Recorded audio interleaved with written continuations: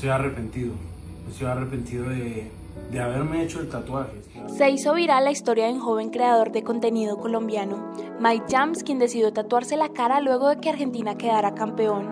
Al contrario de lo que muchos pensaban, se tatuó como parte de una apuesta que perdió.